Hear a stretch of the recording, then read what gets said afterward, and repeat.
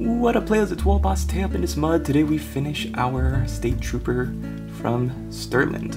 And here are the paints you're gonna need. Averland Sunset.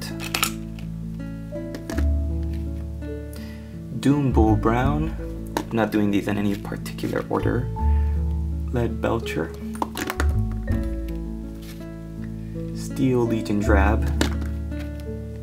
Mournfang Brown. Sorry about the label, that's the color though. Nihilakh Oxide, the technical paint that does the uh, corrosion there. Rakarth Flesh. Karak Stone. Castellan Green. Dawnstone, And Cadian Flesh Tone. Thank you very much for watching. Hope you guys enjoyed the video. Uh, don't forget to hit the like button and leave me a comment. And we'll see you in the next one. Latest, players! Okay, so we're back and we're gonna get finished with our State Trooper from Stirland. So we're gonna start with Averland Sunset. And we're gonna very lightly just touch up the highlighted, or the uh, highest areas of this model's yellow shirt as a highlight.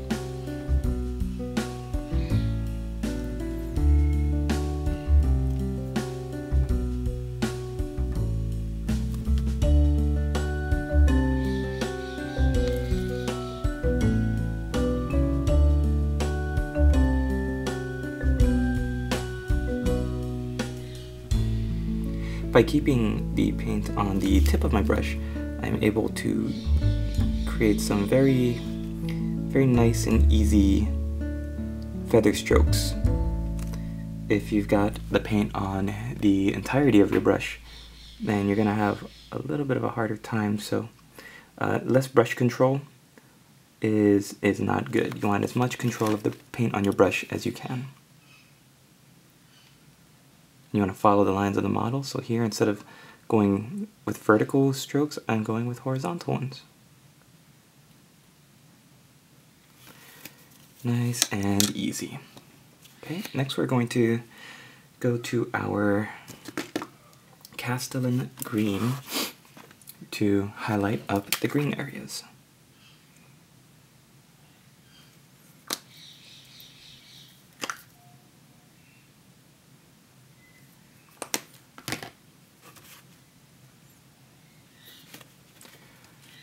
And we're going to start by highlighting across the sleeve. Since that's where the light would be hitting, that's kind of where the highlights would be, you're going to be leaving all that awesome Agrax Earthshade in the folds and underneath. So here when we get to the side, when we get to the side of his arm, we're really just painting the part that would be hit by sunlight and then we're going to be leaving this area underneath the arm shaded. This is also a great way to save time because we're not going all the way around the model. Highlighting is always, I find, a lot easier to do than the base coats.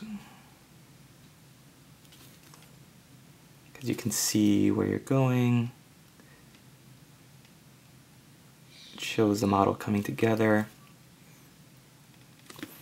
Okay, and then we're going to take some Castellan Green and highlight up the little slashes in the legging. Right here.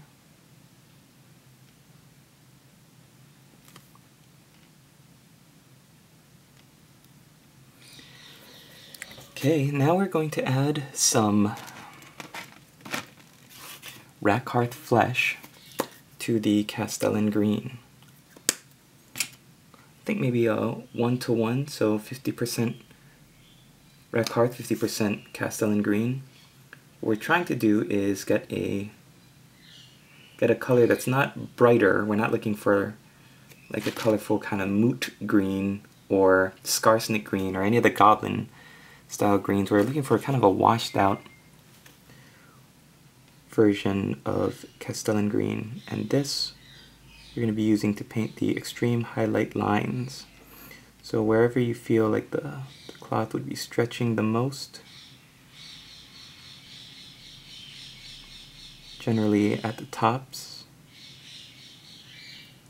maybe not there, um, at the elbows,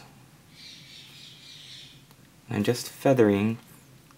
Now, this highlight is the second highlight and it's the one that's going to catch the eye the most so you want to make sure that you don't overdo it. With fabric, it's it's kind of a hit or miss depending on what the sculpt of the model looks like. Like you wouldn't paint this the same way you would paint the edge highlight of a piece of Terminator armor.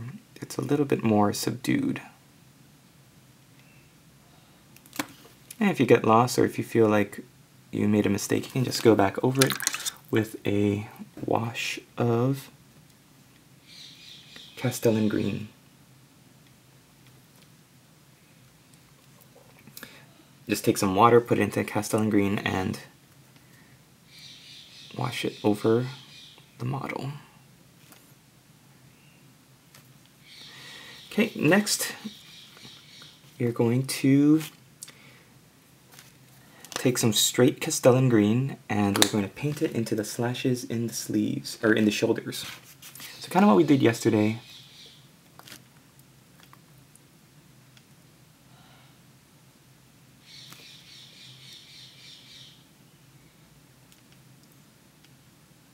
For this part, I'm bracing my two wrists together because it would be really easy to lose where the um, where the slashes are. You don't want to do that.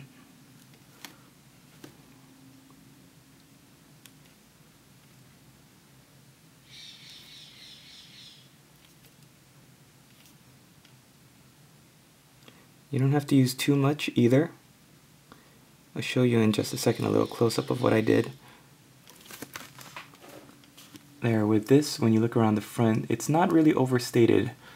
Um, these sleeves look like they were not made to be very over over accentuated with the slashes but the pattern is there and it's very obvious that the state troopers clothes are supposed to be green and yellow. Steel legion drab next and this is going to go on to the trousers. And in highlighting again, we are going to focus on the point that's the most stretched. So the comically large cod piece, the stretched out leggings where the thighs come out on both sides. We're pointing from top, or we're painting from top down since the leggings are making a long line.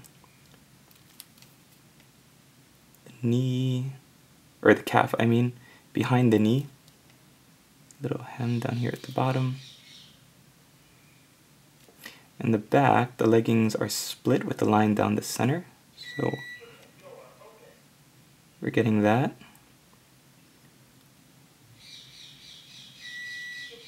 And then here, this part on the back of the leg, right by the buttocks.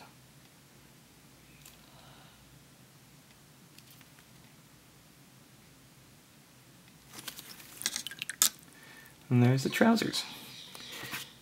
Next, I'm going to be taking some Cadian Flesh Tone and mixing it with some Rakarth Flesh. And about 50-50, one part each paint. What this is going to do is create a nice highlight color for the skin.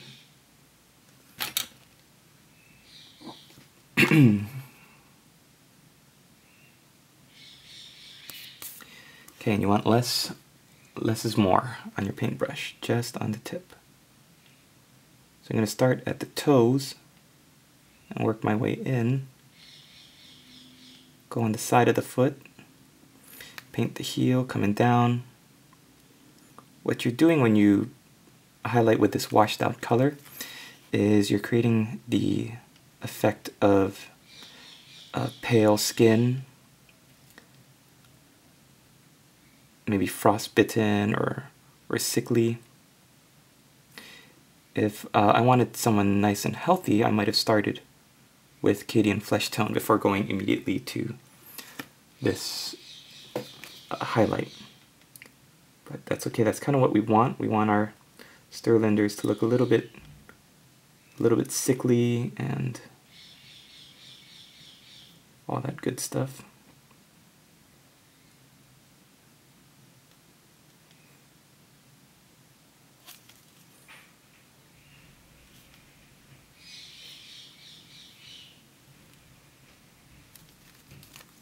Finally, we're going to hit the head.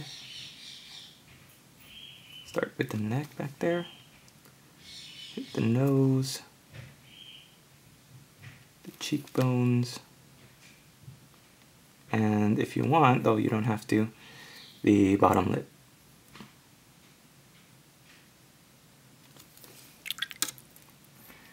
Okay. The guy is looking really cool now, so we are going to add a little bit of wood grain to his weapon. So we're going to use Steel Legion Drab again. And you're going to just drag it along in a random kind of pattern. Straight lines. Uh, you want it on the tip of your brush, so wipe out most of the most of the paint. You don't want it to cover the wood haft, but you want it to look like a nice, easy wood grain. Karak Stone.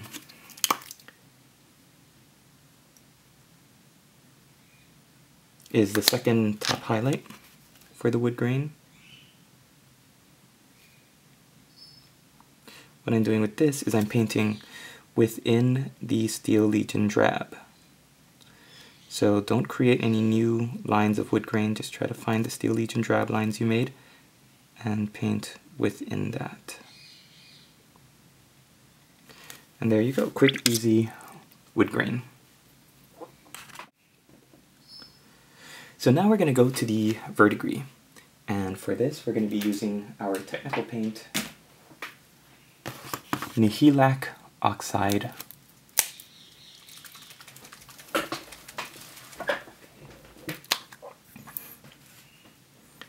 And what we're going to do is get a little bit of that on our brush, just the tip of the paintbrush,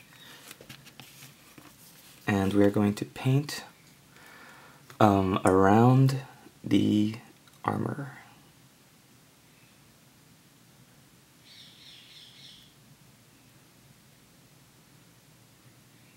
we're going to follow the lines.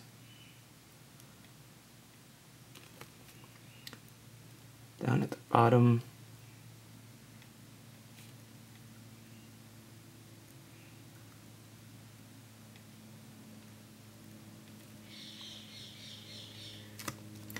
And we're also going to paint a little bit into the weapon head of the halberd and any other metal pieces that you have.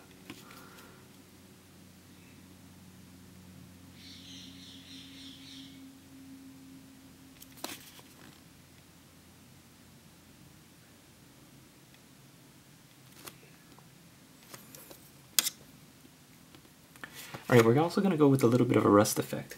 Now you can either use Ryza Rust, which is the technical rust paint. Totally fine if you want to do that.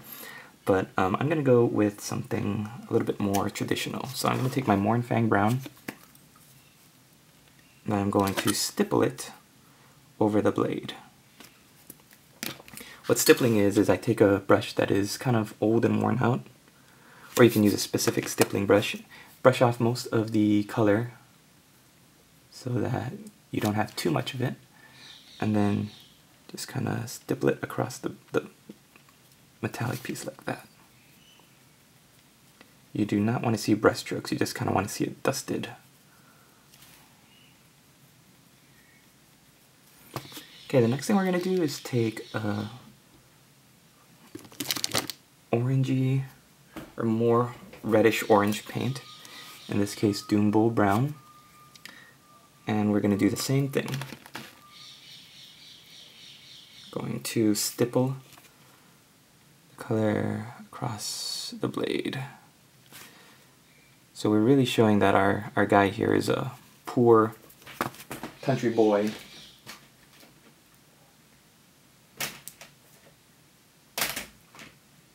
The last color we're going to use is Fire Dragon Bright. Again, stippling across the blade.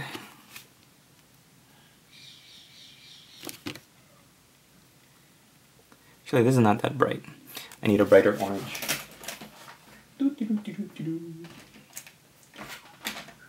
See, the old blazing orange is perfect for this, but I don't really have anything similar in this case. That's fine. This is almost similar to the Ryza Rust color. Right, we are going to let that dry for just a second. It's a little bit too too rusty, so we're actually going to um, clean it up a bit. But as for our the soldier here, we're going to take some Dawnstone next. And the Dawnstone is going to be used to highlight his beard.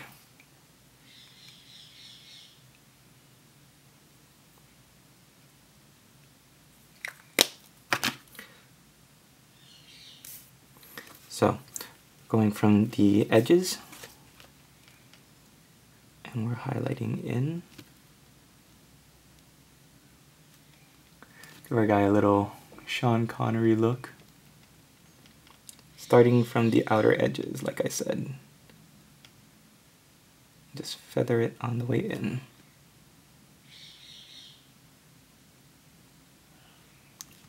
Now, I am not going to highlight his mustache because I kind of want to show the the darker hair on his mustache.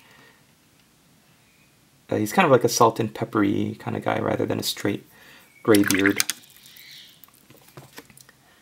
Okay, next, I'm going to take my Steel Legion Drab and we're going to highlight up his hat.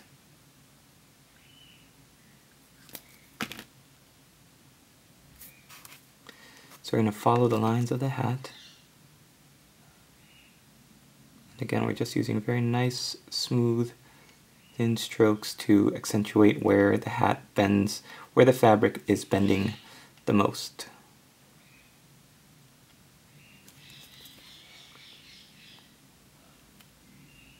Or stretched the most.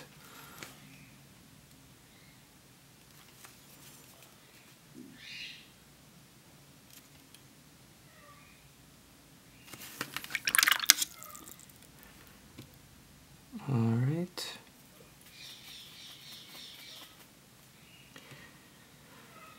Uh, I'm gonna go do the base work now. I think that's all that I want to do for him. Actually, no, that's not. The last thing we're gonna do is we're gonna give him some lipstick. So take some Doombull Brown, water it down a lot. And really, you don't need very much of this at all. It's almost like a glaze, and a glaze means um, almost purely water with just a little bit of paint pigment on it. Uh, the danger when doing glazes is that uh, you gotta wipe it off or else it's going to get all over the place because of the water. It's gonna make it spread on the model. All we're doing is giving him a little bit of a reddish look to his lips.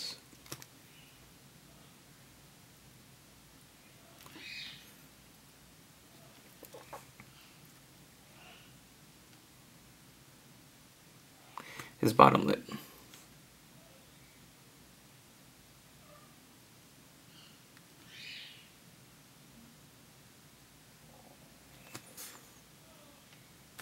Okay, and if that's a little bit too red for you, all you have to do is go back to the highlight color that we made with uh, Rakarth Flesh and Tallarn, or Cadian Flesh Tone, and just drag it across the center you've given it about a second to dry. So what that does is it keeps the reddish tone like locked in the base of the lip, but then also it, it gives them a very natural looking lip color. Okay, so that should pretty much do it. The blade seems to be just about dry. It's still a little bit shiny. So what I'm going to do is I'm going to uh, paint up the base. And then what we'll do is we'll finish up by um, highlighting the blade with a nice metallic color. So stay tuned and um, see you in just one sec.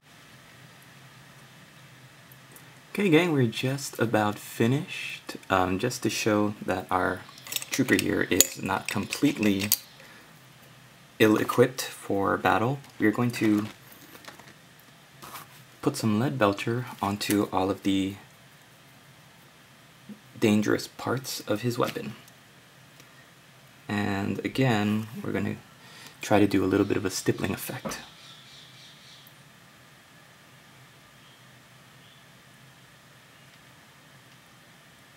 So we don't want to ruin too much of the rust that we did. Uh, we're just showing that the metal is breaking through in certain areas. So like the blade, pointy part at the end, and there you have it. So I hope you guys enjoyed this video, a really quick series, just two parts, because the uh, State Troopers are some of the most numerous models you'll have to field, and if you're going into battle for Stirland, uh, you're going to be at a little bit of a disadvantage because they are not as well equipped as the rest of the provinces. This doesn't affect them in-game, which I think is great. They don't have any special rules that differentiate them, but it does uh, allow you to have some creative freedom with how you paint their gear and their uniforms. So thanks for watching everybody. Hope you enjoyed the video. We'll see you in the next one.